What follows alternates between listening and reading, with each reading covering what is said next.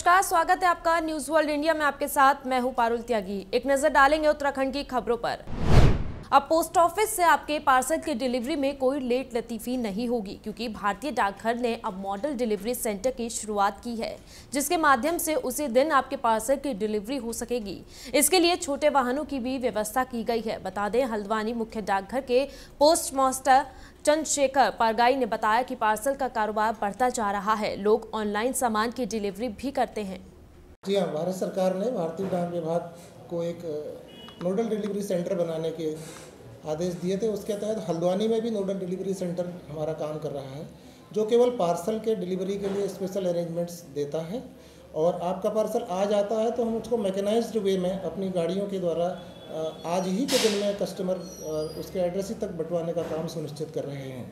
उसके लिए हमारी डाक पार्सल आते ही उसका प्राप्त करना, उसकी छटाई, उसका रख रखाव और उसकी ट्रैकिंग ट्रेसिंग और उसकी सेफ्टी के लिए सीसीटीवी कैमरा आदि सब व्यवस्थाएँ हमारे यहाँ अलग से एक भवन का निर्माण करा करके बनाई गई हैं। जीएसटी की विसंगतियों को लेकर प्रांतीय उद्योग व्यापार मंडल 26 फरवरी को उत्तराखंड में विरोध प्रदर्शन करेगा, जिसके बाद आगे की रणनीति तय की जाएगी। संगठन अपने उत्तराखंड में तीन इकाइयों में पुरजोर विरोध की रूपरेखा को तैयार कर रहा है। व्यापार मंडल के प्रदेश अध्यक्ष नवीन वर्मा के मुताबिक जीएसटी प्रावधानों में बहुत विसंगतियाँ सामने आ रही है, जिससे व्यापारी बेहद दुखी है। यही नहीं, टैक्स रिटर्न करने में चार्टेड अकाउंटेंट की ज़रूरत भी पड़ रही है, जिससे व्यापारी आर्थिक बोझ में दब रहे हैं। देखिए जीएसटी को लेके सारा व्यापारी, पूरे हिंदुस्तान का साढ़े सात करोड़ व्यापारी परेशान है। जीएसटी का जो रिफॉर्म इनने दिया है, जो इन्हें साढ़े नौ सौ संशोधन किए जीएसटी काउंसिल ने, उसके बाद ऐसा रिफॉर्म दे दिया है कि उसको साधारण व्यापारी भर नहीं सकता।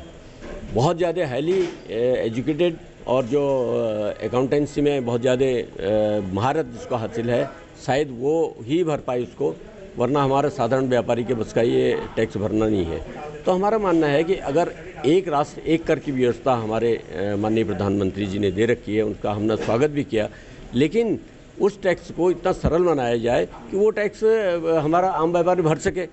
भाई, हमारे व्यापारी को पचास पचास हज़ार रुपये या एक लाख रुपये खर्च करके चार्टर्ड अकाउंटेंट या टैक्स एडवाइज़र क्यों रखना पड़े?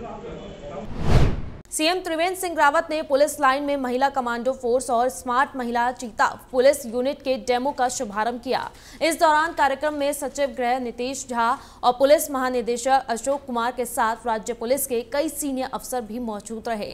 भविष्य की चुनौतियों को देखते हुए आतंकवादियों की हर गतिविधियों को नाकाम करने की दिशा में Uttarakhand anti terrorist squad wing में महिला कमांडर दस्ते को शामिल किया गया है। देहरादून की पुलिस लाइन में इस महिला कमांडो दस्ते की बेसिक ट्रेनिंग ज़ोर शोर से चल रही है। कमांडो ट्रेनर शिफूजी शौर्य भारद्वाज ने इन महिला कमांडो को ट्रेनिंग दी है। उत्तराखंड वैसे तो लाइन ऑर्डर की दृष्टि से एक शांति प्रिय राज्य है।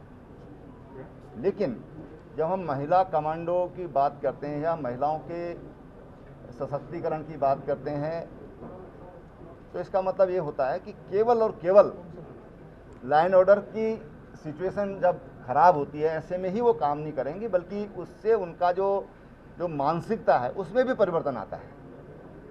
और इससे जो जो यहाँ पर सैकड़ों जो बच्चियाँ यहाँ पर आज इस कार्यक्रम को देख रही थी, उनके मन में भी एक जोश और उत्साह होता है कि हाँ हम किसी से कम नहीं हैं, हम भी कर सकते हैं। जिस तरह के हैरतंगेज कर्तव्य यहाँ पर हमारी कमांडोज ने दिखाए हैं, वो अपने आप में बेमिसाल हैं। उनकी जितनी प्रशंसा की जाए कम है। मैं सिपू जी जिन्होंने इन बच्चों को प्रशिक्षित किया है, उनकी टीम ने इनको प्रशिक्षित किया है और पूर्वाभ्यास एटीएस ने इनको हरिद्वार में कराया है। इन सबको मैं बहुत बधाई देता हूँ। बहुत शुभकामनाएँ। मंगलवार देर रात हरिद्वार पुलिस ने कार्रवाई करते हुए शिव मूर्ति चौक के पास एक होटल पर छापेमारी करते हुए देह व्यापार में संलिप्त दो युवतियों को दो युवकों के साथ आपत्तिजनक स्थिति में गिरफ़्तार किया। मामले के बारे में सीओ सिटी अभय सिंह ने बताया कि पुलिस द्वारा देर रात होटल में की गई छापेमारी में दो युवक और दो युवतियों को होटल मैनेजर के साथ देह व्यापार में गिरफ़्तार किया गया है।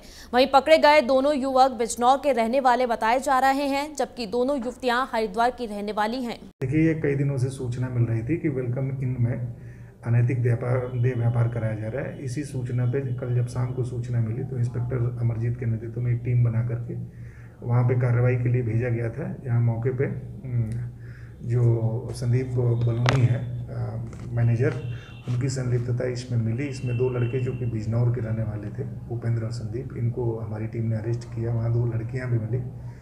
उनको भी मुकदमे का पार्ट बनाया गया। सभी लोगों को आज माननीय न्यायालय के समक्ष पेश किया जाएगा। इनसे पूछताछ में कुछ जानकारी मिली है। जो लोग भी अन्य इसमें भागीदार हैं, उनके विरुद्ध भी हमारे द्वारा कार्रवाई की जाएगी।